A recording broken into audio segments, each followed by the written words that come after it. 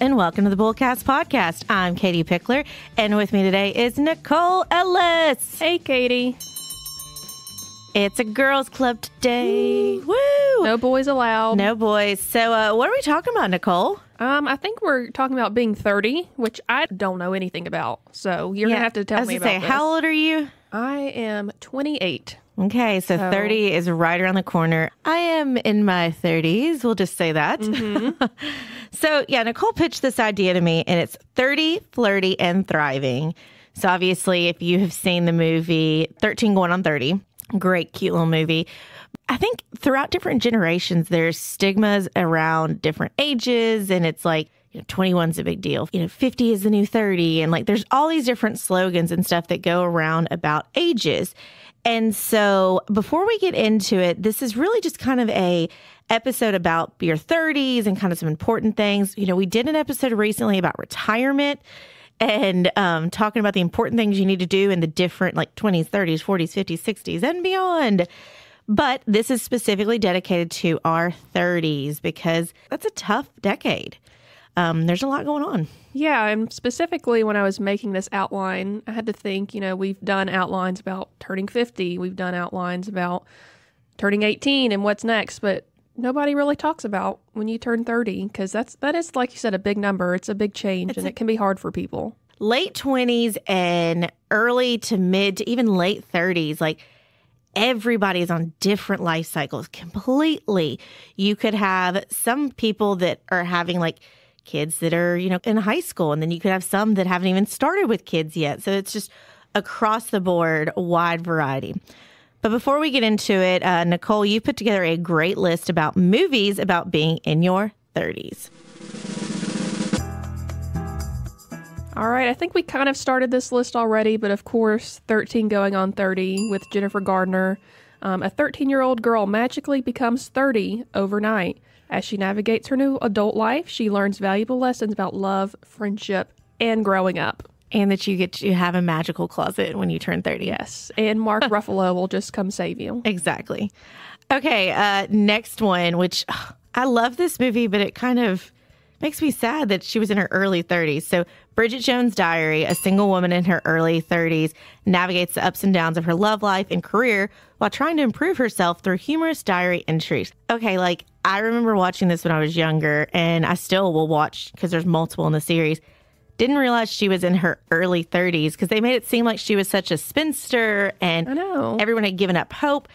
I feel like nowadays that would be more closer to like maybe mid 40s or something. Mm-hmm. Somebody's doing that and kind of feeling down in the dumps. But and if you're listening and you're in your mid 40s, it's okay. No worries. Like you're fine. We're not judging. We're not judging. I guess that's how the times change. Of like, yeah. I remember when this came out, my mom was in love with it, and I just was a kid, so I Yeah. just assumed she had to be old. But now that she's no, 30, she's in her early I'm like, 30s. this is not right. no, Red flag. I know. Gosh, Renee Zellweger was great in that. Mm-hmm. the next movie on the list is actually one of my favorite movies of all time. It's called Tick Tick Boom. And guess what? It's a musical. I have not seen this. this is, yeah, like I said, it's one of my favorite movies. So Andrew Garfield stunningly portrays Jonathan Larson. If you don't know who that is, he wrote the musical Rent. And then he also wrote this Oh. musical Tick Tick Boom. It's kind of like an autobiography on his life. And it's about how he's about to turn 30 and he's ruined with fear. So there's a song, if Court were here, he would sing it with me, where he goes, Turn 30, 1990. And it's all about turning 30 in the year 1990. Oh, fun. It's a great movie I'll have to check it out. on Netflix. Oh, I love this next movie. Big. Um, this is Tom Hanks. A young boy makes a wish to become an adult and wakes up a 30 year old dealing with the challenges and adventures of adult life. Now, Big was amazing. And if you ever go into FAO Schwarz, then you have the iconic scene from Big with the floor piano that you play with your body. Mm-hmm. And he had, I mean, it's a kind of an example of if we were to give a little kid a bunch of money, but with an adult body so you've got the ability to drive and credit cards and things like that and he buys bunk beds and buys toys and This is like the boy version of 13 going on 30. yeah it is So, and but much much older yeah, a lot older, but both are classic yes movies. uh, it's Zoltar love it The next one on the list I've actually never seen. I don't know if you've seen this one, Katie. It's called The Big Chill. Mm-hmm. It's a classic film that explores a group of college friends who reunite in their 30s and grapple with the realities of adulthood, relationships, and career choices. Yeah, it's been a while, but I have seen this one. Well, I'll add it to my list. And the last one on our list is Bridesmaids. The hilarious comedy explores the pressures and anxieties of female friendship and social expectations as women approach their 30s.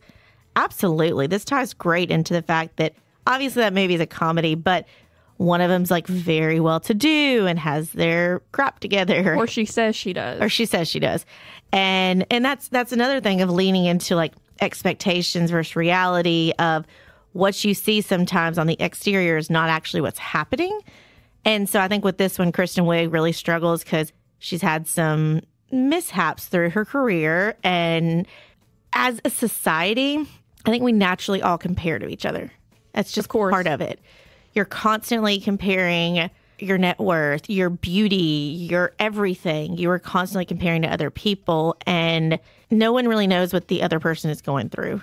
And Right. so it's kind of the thing we say don't judge a book by its cover. Same thing with when you're looking at other people. Just because it looks like they've got it all together, you don't know. They could have other problems that you know nothing about. Right. And then this list is a common theme, kind of that's going with the outline. That's all about the big change in your 30s of what your friends look like, what your career is. Yeah. And I guess this is a common theme in your 30s, as Yeah. you said. I want to go through this episode and just to reiterate to everybody, I am on the side of I am in my middle of my 30s. I'm 35. So I. I'm right there in the middle of it and Nicole is 2 years away from being into the 30s club. So we're trying to give you a different perspective of those who haven't made it yet and then I've been in it for 5 years. So I Yeah. feel like I've got my card by now. Yeah. And so you're going to give me some good advice. I hope so. Okay, transition to peak earning years. Oh. Okay. Your late 30s, hear that everybody, late 30s are often when you start earning the big bucks or at least enough bucks. And again, this is not a comparison, but I'm, I'm glad they put late 30s because I think a lot of people think about your 20s. You probably went to college, you graduated, and then you're really trying to figure out what do you want to do? Where do you want to be? And so it could be a a combination of trying out different jobs, figuring out are you, you know, moving out from your parents? Are you getting your own place? Did you already find your soulmate and you're getting married and having babies? Like what's going on? And so your late 30s, you know, hopefully you're getting increased income, you're getting more seasoned in your career. And, you know, maybe you haven't found your career yet, but if you have found something, maybe you're getting more established. You've got financial ease and security and potential for increased spending. Now that sounds That's fun. right up my alley. But these are just kind of some traditionally. Now, if, you are not on this track, it's okay. But I would say it's one of those that your 30s are kind of the years that you need to kind of buckle down and figure out where's your path? Which direction are you going in? So focus on financial goals. You know, this is peak earning years to enhance financial stability and avoid lifestyle inflation. Lifestyle inflation. I feel like that's something that you could easily get sucked into. Oh yeah. Well, and I, I think that's you know keeping up with the Joneses, keeping up with the influencers. I mean, I do like that some of these influencers. I know I've talked about this before, but I don't think with you, Nicole. Like Collins Tuohy, she's obviously kind of a local-ish influencer. Um, the Tuohy's family obviously was a part of the Blind Side, but they're I mean they're from Memphis. They're here. She does seem to be really good about posting things that are like at Walmart or off Amazon. And so it's not all the ridiculously like, here's my great outfit. It's $5,000. dollars mm-hmm. So she does try and do that. Okay, I'm going off on a tangent. Those influencers can get you worked up. they get you, but really it's okay. So we have transitioned into 30s, but Nicole, as someone who's not in their 30s yet, do not feel the pressure that you feel like a ticking time bomb because I think too much society puts expectations. Like it used to be if you don't have a baby by the time you're 25, then, you know, you're a spinster. Now, not too long ago, it bumped to 30. Now it's more acceptable to have them later in life. But I think a lot of people put way too much pressure on themselves. And so if you're listening to this and you hear, well, Katie said I need to be uh, financially secure and I need to be banking more money and things like that in my 30s, do not glue to that, but maybe look at that as an opportunity to, as you enter the 30 sector, to start thinking about, am I in the job I want to be in? And that's where you can start having those conversations, which are hard to have. But I remember I got married when I was 30 because I'm coming up on my five year anniversary. Congratulations. Thanks. And my husband and I both made huge career shifts right before we got married. So mine was actually, let's see, 30 days before my 30th birthday. Follow that. I made a drastic decision to leave the job that I had been at for six years and make an entire career shift to the financial world. Scary as all get out. Now, my husband, he had some stuff going on and he made a drastic change. He's a little bit older than me. So his drastic change was when he was 32. And so both of us, like, you know, we kind of saw that 30s, early 30s mark is like, we need to figure out what we're doing. Mm-hmm. And so that's where I think, if nothing else, just don't lock into you've got to have it all together by 30, but maybe use those early 30s as a, am I where I want to be? And if I'm not, what changes do I need to make? Or do I need to go to management and say, because this is what I did. I went to them and said, I want to be here. I want to be a part of this.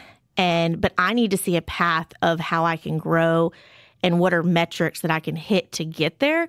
And they weren't really able to show me that. And it was heartbreaking, but I knew that was my sign that I needed to figure out where to go next. It's going to hit people at different age. It's not like you you wake up and it's like, "Oh, this is the day I decided to destroy my life and move to the next thing." I've been here for 2 years. I think this Friday actually. Oh, wow. So, 2 years ago, I was what 26 and I kind of had a come to Jesus moment where I was like, I don't like my job.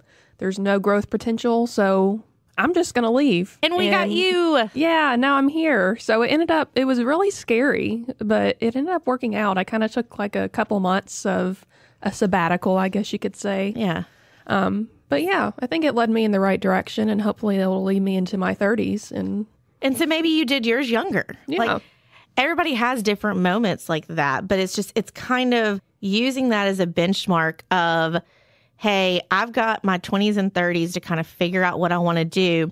And then my 40s and 50s are to really maximize. But I mean, some people completely change their whole career. yeah, You got to do what works for you. Okay. Monitor your debt to income ratio. Katie, tell me about it. Whew. Okay, so this is something that I deal with a lot with people, and it's it is a frustrating thing. But when you sit there and think about it, when somebody's going to lend you money to finance a car, to get a house, to do different things like that, they are going to look at how much money you have in versus how much debt you have. And that tells them your ability to borrow, what your obligations you already have. And so the DTI is what is oftentimes called debt to income ratio, is the percentage of gross monthly income spent on debt. Gross monthly income spent on debt. So lenders use this ratio as one of the major factors of deciding whether to extend you a loan. The higher your percentage, the more lenders are likely to perceive you as a risky borrower. And you're like, well, that's rude. Well, yeah, I mean, but they're looking at it as like, you've already got a lot of debt. How are you going to have this? How are you going to be sustainable? Now, what I will tell you is kind of difficult, especially 20s, 30s, is if you're merging with another individual, then for instance, think about this like, I'm married, but there's different debts that are on me than on my husband. And so that's something to think about when if I was to go get a car loan, then it's like, okay, I've got the mortgage just under me. He doesn't have the mortgage underneath him. So then my debt to income ratio is going to be different. Or if, you know, one spouse makes more than the other. So there's a lot of factors that go into that to make sure you're balanced. How the heck are we going to manage this DTI? We're going to track as income increases. We're going to have strategies to try and lower it. So increase income. Well, that's great. Sure. Hey, boss, I need to increase my income because I need my DTI to go up. what? or pay off some debt. Again, those are kind of like, okay, great, Katie. Like, let me just make some more money and pay off some debt. Like, sure, sounds good. I know that's frustrating, but it's just being intentional and thinking about that. And also, I had a, a listener actually reach out to me recently and talked about the number of credit cards that you should have. And there was a situation where there's an influencer there they listened to, and they had an ungodly amount of credit cards, lots and lots of credit cards. And they use them all the time. But then she heard of another situation when she was buying her car that this girl did not get approved for financing because she had like upwards of $100,000 that could have been used on these credit cards. And so trying to find the right balance. And so, so much of what you decide in your 20s and 30s with credit card debt, with what lines of credit you open up, with things like that, that follows you. That has an impact for your 30s. And then you're like, dang it, why did I open up a Victoria's Secret card and an Amazon card and a Joe Jonas fan club card and A witchcraft. a witchcraft card. card and all these different cards. So, like for instance, Nicole and I, and y'all may know this or may not, um, we share a common interest with uh, our family members being in the car industry. We love cars. So Nicole's dad is in uh, the car industry as well as my husband, and so we get to hear a lot about some of kind of the woes of what happens where people are not approved for financing, and a lot of times these people are shocked, they're frustrated by it, and it could be that they have student loan debt that's crippling them, or they got wrapped into credit cards when they were in college, and they thought that closing them out or consolidating them would help them, but if nothing else, Nicole, what I can tell you is as you merge into your 30s, also kind of look at it as what do I need to try and clean up for my 20s before I move into my 30s? Like, again, it's not this magical, like, Happy New Year. You cleanse last year and you start mm-hmm. fresh. It doesn't happen that way, but there are ways that you can set personal milestones and be like, hey, let me let me figure out what my debt to income ratio is. Let me figure out what I've got on here and do I have abilities to maybe be a little bit more aggressive? But again, every situation is different. So it's best to talk to a financial professional and say, like, hey, what are these debts should I try and pay off quicker than others? Because again, you've got to look at opportunity cost and there's a whole thing in there that you can do. That's a whole spiel. That's a whole spiel in itself. That's a horse of a different color. I haven't mm-hmm. said that one in a while. I've never heard that before. Oh, I used to Is say that a it. 30 saying? I used to say it all the time when we first started this podcast. Throwback. Yep. Okay. Maximizing tax deferred retirement contributions. Hey, Nicole, welcome to the 30s. We're talking retirement money. That's a lot of words I don't understand. Well, again, this is kind of like a, a gut check. Hey, you're going into the 30s. Are you contributing to a retirement account? Does your employer have one? Are you doing what you can to try and max it out? And so we've talked about this one a ton on different episodes, but really kind of trying to understand what are your benefits because you've got IRAs, you've got 401ks, you've got options where you contribute to them and it can help lower your taxable income. You've got some that it's you pay the taxes now and then when you pull the money out then it's tax free that's going to be roth versus traditional is what i just talked about and so this is where it sounds crazy because i just you know whiplash here i just told you like figure out what you want to do start making more money get it together but then i'm also telling you hey let's think about retirement so that's confusing Yes. are you with me nicole are you scared I'm trying. I'm here. I'm ready. again, there's so much. And I love how on this list it says prioritizing long term retirement accounts, health. And I also want to add in there thinking about your health because that's something that it's obviously how you take care of yourself in your 30s is then going to turn into how are you're going to be when you're 70, 80, 90, 100. So, yes, I realize I'm putting a lot of stress on welcome to the 30s club, and there's a lot that's coming at you. Oh, and this is the least sexy thing, too. Let's talk about insurance. Ooh. So now that I've talked to you about debt to income ratio and retirement, now we're going to talk about insurance.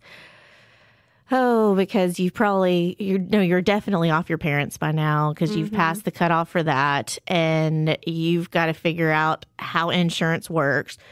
Which That's confusing. yeah, let's be honest. Most people are just kind of like, I don't know, I'm just kind of guessing here and mm-hmm. figuring it out. And I'll be honest, like, it wasn't until, you know, not that long ago, it's kind of embarrassing that I really understood health insurance and things like that when my husband had a kind of emergency situation. And I'm trying, I'm like, well, let's just go to this doctor. Let's just get this done. And it's like, you got to go through insurance. You got to mm-hmm. do this. And I'm like, that's so frustrating. So, Yes, I'm admitting y'all to my faults of it's complicated and you know, you're expected to be an adult. You're expected to thrive in your career. You're expected to be fit and take care of yourself.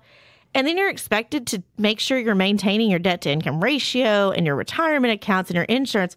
Holy moly, Nicole, how are we going to do it? It's a lot to think about, honestly. So you you want to know my secret? Yes. I get some partners.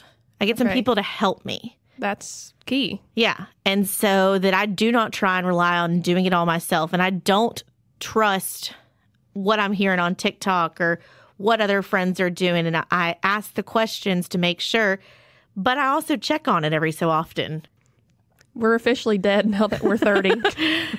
so there's an omen. I, will just let everybody know.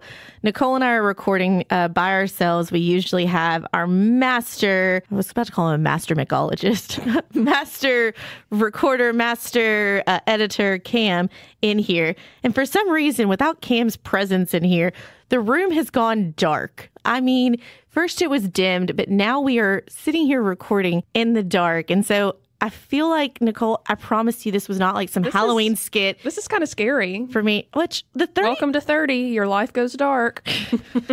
Not true. Yeah. But So Nicole, tell me kind of in your own words, what do you feel like your expectations are of what you want to try and accomplish or do before 30? Oh, that's a big question. I got two years to figure this out. I mean, I definitely want to be on my own. I've always liked the idea of being independent.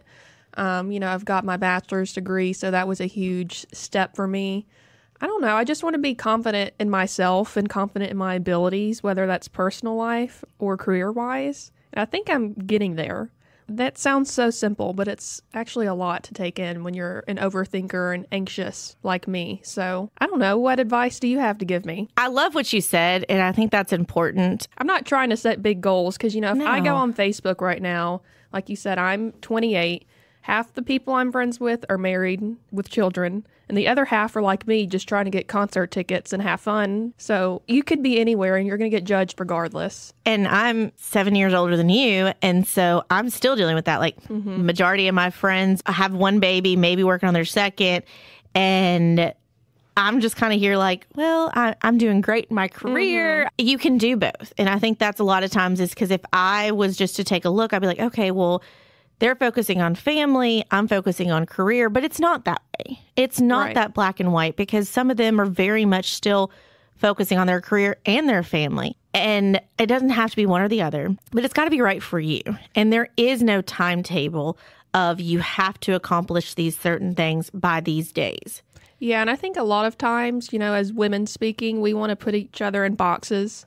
Like, oh, I can't have a family and have a great career. Yeah. Just because that's kind of how we were raised, maybe. It was, but yeah. or what we've seen on TV, but you actually you can have both.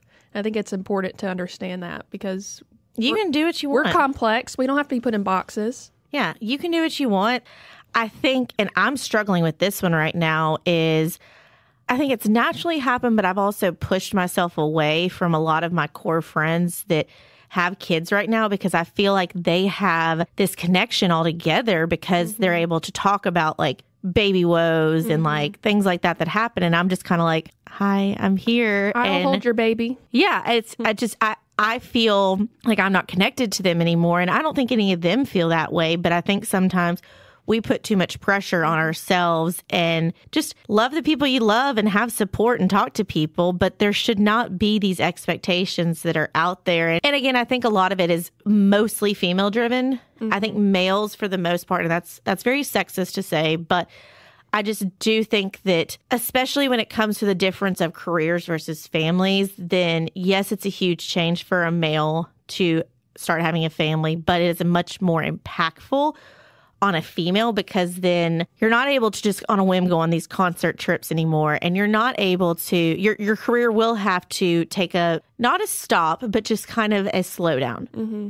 and so there's a lot of expectations with that Yeah. but I think it's just kind of one of those like we're all just kind of coasting along. We're all trying to figure it out together. And so my recommendations for you is moving into your 30s is pick yourself up every day and do what makes you happy, but also know that it's challenging.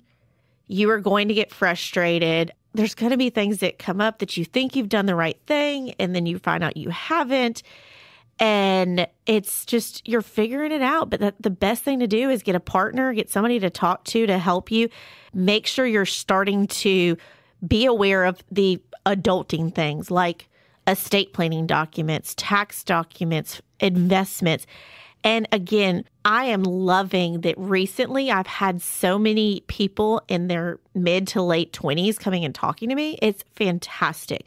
I wish more people would come and talk to me in this, you know, late 20s, early 30s range because you are enough. You are worth my time to talk to and worth a financial advisor's time, a tax preparer's time, an attorney's time, just to go ahead and see are you on the right track or not? So I know Nicole, you know, you've already kind of had some introductory conversations with me about, you know, financial planning and stuff mm-hmm. like that. And so yeah, that was kind of going to be part of my bullseye. Okay, was, sorry. That's okay. We can share. Is don't be afraid to ask questions because I might go ask Katie a question and I'll start it off as, "Can I ask you a stupid question?" And it's not really stupid because I no just stupid questions. I just didn't know the answer. But yeah. now that I've been working here and I'm able to ask questions, it's really helped me a lot in my financial career. So yeah, yeah don't be afraid to ask for help or ask questions, but make sure you're asking the right person. I'm not trying to burst your fun, but you do need to grow up some when it comes to some of the stupid mistakes we all make of just like blowing through our money or maxing out our credit cards. Um, now, I'm not going to say I don't make stupid mistakes. I got FOMO from Nicole and bought Eras tour tickets that were a little expensive. But and if she wants to have a lot of fun, she knows who to ask. but it's also one of those like I know I did that, so I'm an adult now, and I'm like, mm-hmm. okay, so then don't make other you know stupid frivolous purchases out there. So I'm not telling you that you know the 30s is the death of your fun or it's time to get serious, but it is time to just start thinking about what are some smart moves that I can do now that's going to put me in a better position in the future. That's why I tell people all the time, especially if you are making good money and you don't have a family, you don't have a lot of responsibilities, then put that money aside, save it, have it earning and working for you because your future self is going to thank you. Instead of you're able to look back and see at that exact moment, ladies and gentlemen, the lights came on. We have wow. come out of the darkness of the doom and gloom of the 30s and we are excited because we've got I feel like I'm a preacher over here. this was kind of incredible. I don't know how that just happened. The lights are on. We are almost 30 and 30 flirty and thriving. Be excited about your 30s. It's going to be great. And now I got to try and do this closing, which I've never really done by myself. So, here we go. May the power of court compel you.